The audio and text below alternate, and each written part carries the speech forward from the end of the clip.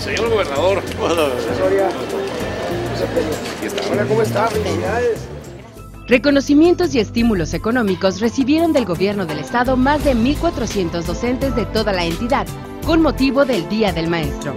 El gobernador Eduardo Burs entregó la medalla Ignacio Manuel Altamirano y un estímulo económico a 53 maestros con 40 años de servicio en el magisterio, quienes se suman a 1.340 docentes sonorenses reconocidos el pasado 15 de mayo por sus 20 y 30 años al servicio de la educación.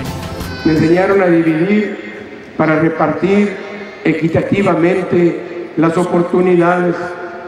Me enseñaron geografía para identificar los polos de desarrollo en el Estado y me enseñaron historia para valorar nuestro pasado y en su caso para no volver a cometer los mismos errores. Como un signo de gratitud hacia los dignos portadores de la semilla del saber, fue calificado el evento por el secretario de Educación y Cultura, Horacio Soria Salazar.